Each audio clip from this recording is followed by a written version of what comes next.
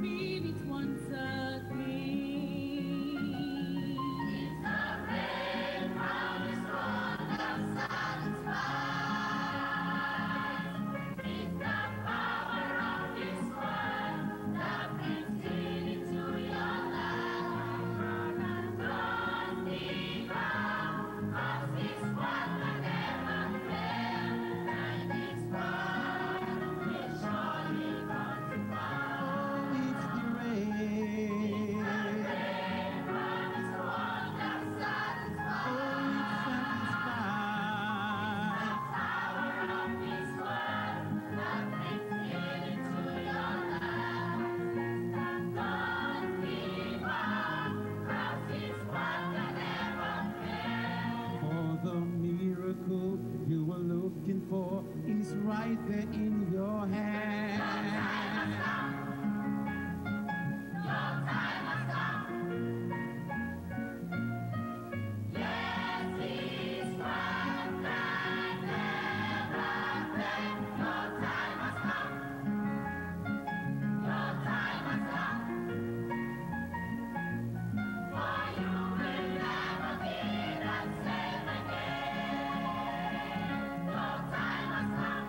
solution to all your problems. It's the set time for your harvest. God's word must be fulfilled. Just wipe your tears away.